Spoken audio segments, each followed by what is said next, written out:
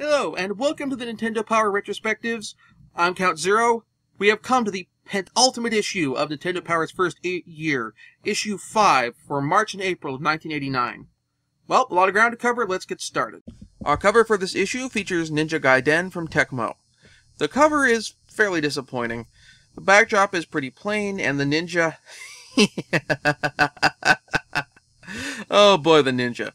First, this guy is clearly, clearly a white guy. Did Nintendo of America not have any Japanese or Asian people of any variety working for them who could dress up like Ryu Hayabusa, a Japanese character? Also, what in the nine hells is he holding? It's not a throwing star, it's not a sword, it's not even a set of nunchucks. What is it? Are they afraid that if they had the ninja holding a weapon, they'd get complaints from parents like they did for the Castlevania 2 cover? What the hell? Also, our mail column has moved to the front of the issue now instead of the back. We have a letter from a group of residents from a retirement home who are big gamers who remind us that video games were never really just for kids. So take that, critics of video games. The walkthrough of Zelda 2 continues in another article, and I, as I said everything that I had to say last time, I'll just leave it at that. We then have our CES report. So, well, it's 1989, so instead of E3, we had the winter and summer consumer electronics shows, and in this case, well, we're talking winter CES. The article is written somewhat from the perspective of Nestor, and we get a very brief rundown of what each of the companies at Nintendo's booth were displaying at the convention. Aside from the various games on display, one peripheral gets a particular degree of focus, and that is a new controller, the Power Glove. I am now contractually obligated as an internet critic to use the following clip. I love the Power Glove. It's so bad. Here we go, our cover title, Ninja Gaiden. We get a rundown of the various special moves and power-ups in the game, as well as some very nice art. That said, is it just me, or does Jaquio look like he has antenna in the art? We have maps for the first three areas, as well as descriptions of the game's cinematic cutscenes. While the cutscenes are great, and I've always had a spot, soft spot for games on the NES that tried to do more from a narrative standpoint, as this game, game did, I do have to disagree with Arino's assessment of Ryu from his playthrough of the first Ninja Gaiden. He really is a terrible ninja. That said, moving on to the gameplay, Ninja Gaiden is one of those games which Arino, of Game Center CX, managed to beat legit, with a lot of time, a lot of work, and the help of his talented assistant directors. I, at present, have not beaten the game legit, instead having beaten the Super Nintendo release of the game from the Ninja Gaiden Trilogy Collection, using an emulator and save scumming. Anyway, this is one of those games that put in the category of fun, but incredibly hard. The difficulty is due basically because of the game makes a calculated effort to throw enemies at you exactly where you least expect them, or can't really work around them. For example, if you're jumping forward in a tricky platforming sequence, or by spawning repeat enemies when you're trying to grab a power-up item.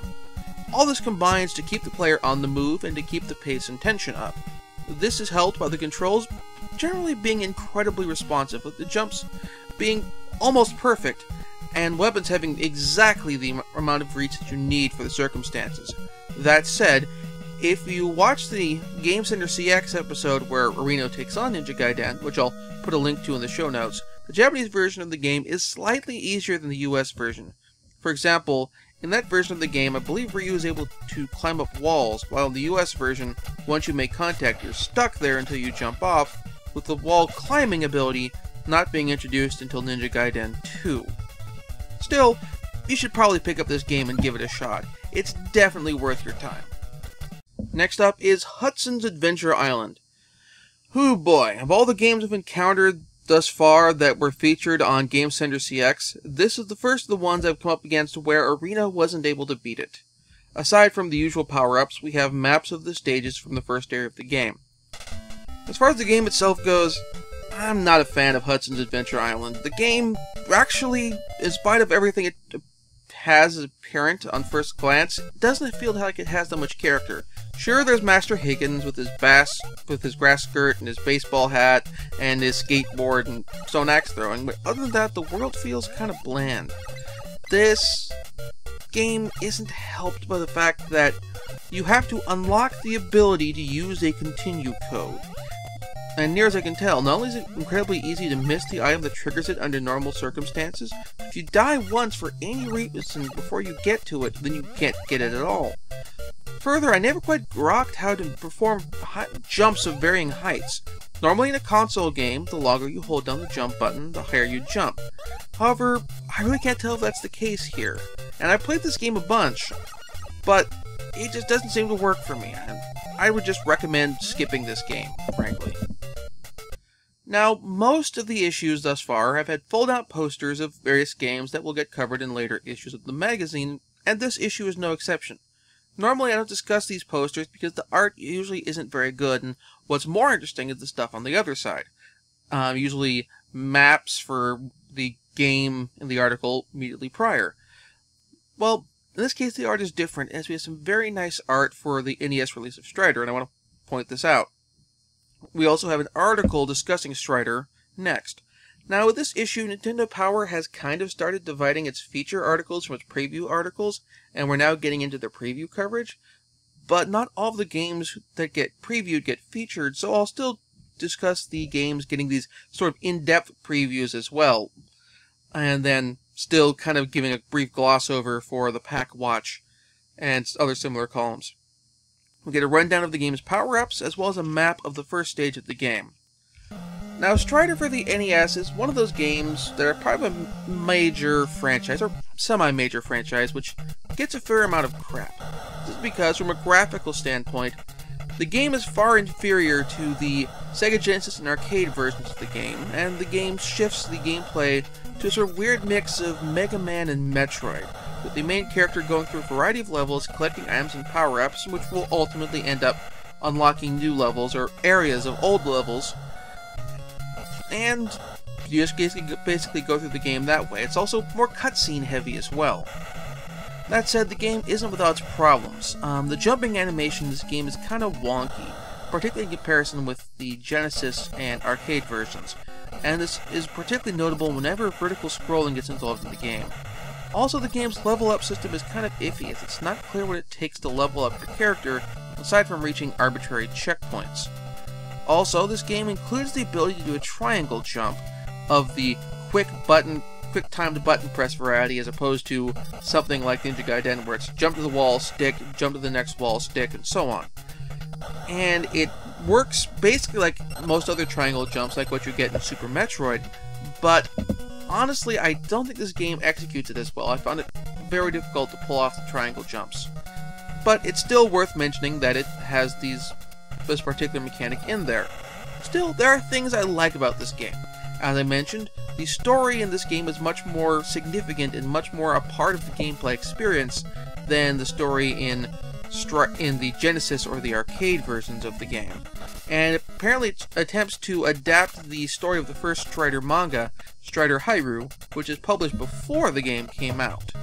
So I definitely recommend giving this game a look-see, and possibly picking this up if this sort of Metroid Mega Man style gameplay is the kind of thing that you're interested in. I've been considering doing review some reviews of unlicensed and out of print anime and manga for quite some time, and playing this game really makes me want to hunt down the original manga and check it out. Some of the issue, some of the tankobon, the trade paperbacks, have been translated. I'll probably download some of those and give it a look. It sounds like it could be interesting. Um, we'll have to see. I'll let you know when I get to that. Next up is Cobra Triangle, and if you thought we were going to make it through an issue of Nintendo Power without reviewing a game by Rare, well, here's our Rare title for this issue, which is published by Nintendo. Cobra Triangle is one of those games that's interesting. It's a racing game with weapons, like RC Pro-Am, but it's got a power-up system like the one from Gradius. However, it's kind of more simplistic. RC Pro-Am had a wider variety of courses and tracks of increasing complexity as you went through the game, while Cobra Triangle kind of has a repeating loop of different variety of missions, each ending in a boss fight against some sort of giant animal, with the intermediary levels somewhat varying depending on which circuit through this sort of conceptual loop there is.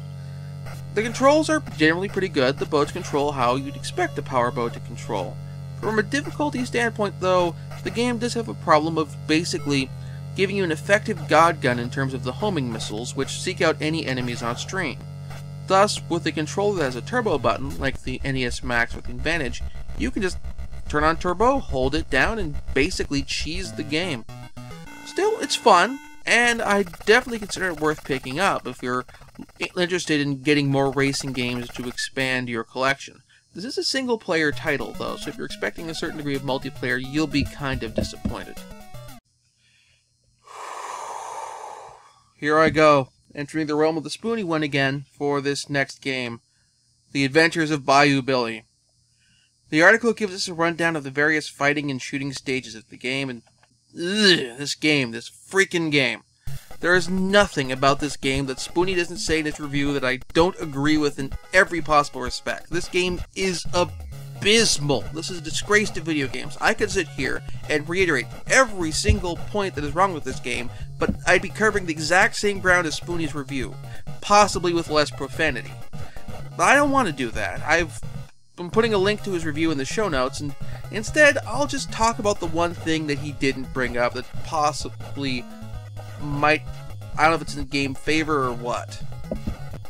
In short, from a premise standpoint, Bayou had potential.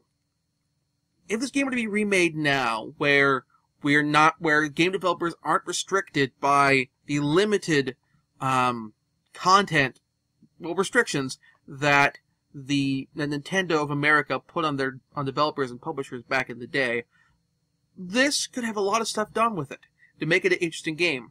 Um, particularly nowadays where we've had the Grindhouse collection, it's gone beyond a double feature to including films like uh, Hobo with a Shotgun.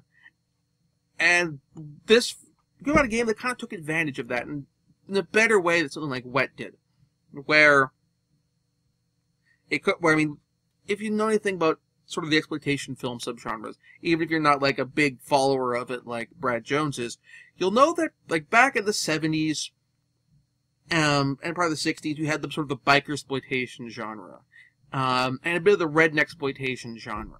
Um, some films that kind of tied into all this, were like the Billy Jack series, the early installments where you had the sort of half Native American drifter taking on biker gangs, protecting peaceniks, and you beating them up with this kung fu. Um, and we could have gotten something that kind of tied into that, had the sort of Billy Jack style martial arts, possibly have it involve a sort of Boss Hogg esque, um, like a, a, truly malicious Boss Hogg esque antagonist, as opposed to being boss, Boss Hogg shows as a villain, and Dukes Faster is a villain certainly, but I wouldn't exactly call him sinister. An actual sinister antagonist would make for an, would make things better, um, much as the game has, and have it kind of tie into all of that and give Bayou Billy a sort of Billy Jack style character, or possibly make him a little more swoop, smooth and suave, like uh, Gambit from the X Men. Um, at the time, of course, the game couldn't have featured any of this content because, sure, I mean, Nintendo content restrictions, huh, they're just, yeah, some, I mean, the more edgy and artistic and interesting stuff visually oftentimes it's based on either if they're, if they're not visually impressive because of technical stuff like with Ninja Gaiden, it's impressive and, they're daring, it's because of what they managed to slip past the censors, like like Monster Party. Um, but yeah, this game came out now. If someone were to to remake this game or reboot the franchise now, I could really see this game done with a sort of grindhouse feeling, possibly hopefully done unironically, and done in the fashion that makes for an interesting game, but also which has a real sense of character and flair to it. However, because this game turned out as poorly as it did, I feel like it's tainted the well for the franchise, so that we really couldn't get a game like this now, or get get the, a reboot now that could do the premise what it deserves, not what it deserves, but do the premise justice. Because this game doesn't, and honestly, that's kind of the biggest disappointment about Bayou Billy is the potential squandered. So we continue in the realm of Konami with the first Teenage Mutant Ninja Turtle game, which also takes me back into the realm of games that have previously been covered by the Angry Video Game Nerd. The article has maps of the first two areas of the game, the city map and the dam map. This is a game that is almost good. The platforming is iffy, with the jumping ability of the characters working against them in some places, and further, as the angry video game nerd mentioned in his review, the fact that the hazard in the sewer platforming areas is water is highly questionable. Further, the balance of the characters isn't great, as in this game, the only characters really worth using are Leonardo and Donatello. Donatello for reach and power, and Leonardo for speed and being able to hit a wide area. However, the real problem with this game is the our biggest problem I've ever encountered is the second half of the dam level, which has the turtles having to make their way through an area of water underneath an unnamed dam near New York City, where the turtles have to defuse a series of explosive charges, all while avoiding electric seaweed and various booby traps that I presume have been placed there by the Foot Clan to prevent people from defusing the bombs, all within a 5 minute time limit. I've done this as far as actually completed the task from beginning to end without getting a game over, a sum total of once. And even with the assistance of emulation and save scumming, I still wasn't able to succeed in defusing the bombs for this review's gameplay footage.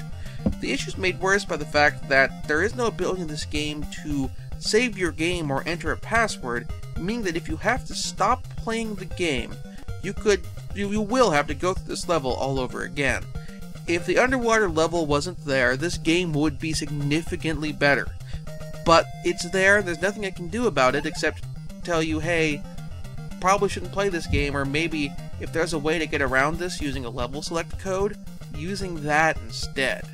Next is Counselor's Corner, and unfortunately, they've replaced the really car cool cartoon doodle at the top of the article with something far uglier. Of note here is the hints for Zelda 2, where we get information on finding the town of Kasuto. Also, in Howard and Nestor, we have more coverage of Zelda 2, with Nestor learning that Howard haunts his dreams, or perhaps is trying to perform an, an inception. In classified information, we get a level select code for Golgo 13, which unfortunately does nothing to make the game suck less. We also get the continue secret for Hudson's Adventure Island, which I tried to take advantage of when recording gameplay footage. And I'm still kind of glad they printed it here, but it doesn't make that game better either.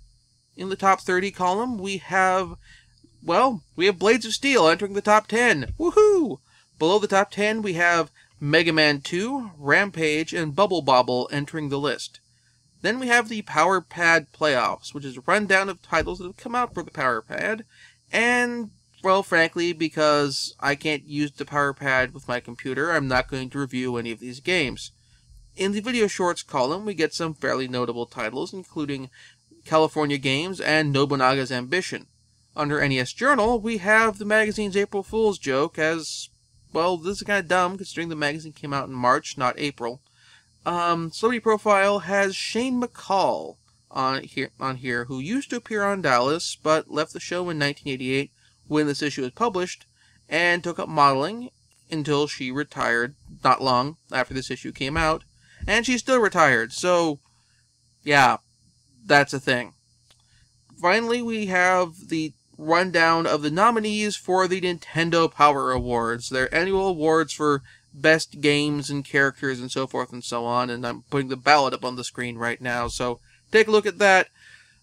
Go ahead and freeze frame this and decide, well, who would you want to win these various categories and post your thoughts in the comments and we'll discuss the results with the in the next episode. Sadly, there are no multiplayer games this issue, so there's only one pick um, that I can, I'll be giving, and that is for Ninja Gaiden. The game plays very well, and while it's hard, it's not sadistically hard. And honestly, I mean, it's a game that's changed the way storytelling is done in video games. It has cutscenes. It has cuts, uh, basically the equip the, well, the 8-bit equivalent of the pre-rendered cutscene. Um, before we got the sort of sophisticated in engine we got the before in engine cutscenes as we know it kind of came about um, and rather than just having them being used for bookends an opening and a closing like with for example games like um, well blaster master from earlier I can speak from earlier issues.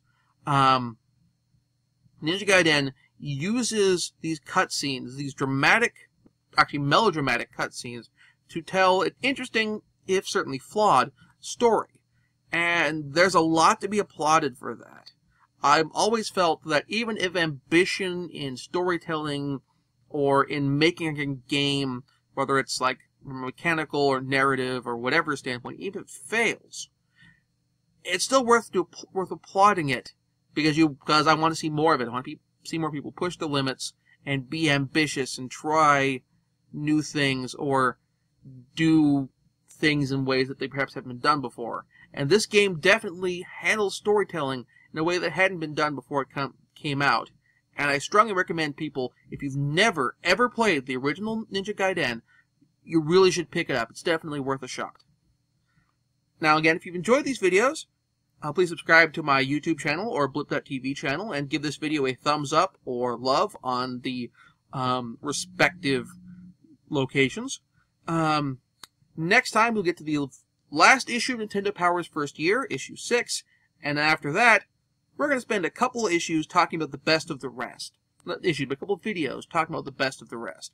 The games which were featured on the top 30, but which did not get covered in the magazine. What stuff perhaps the Nintendo Power editors didn't feel was worth mentioning or what have you, but game, but games which managed to get a following of some sort or another anyway. We'll talk about those next time, or rather in two episodes, but until then, I'll see you on the on ne- the next episode of the Nintendo Power Retrospectives. Thank you.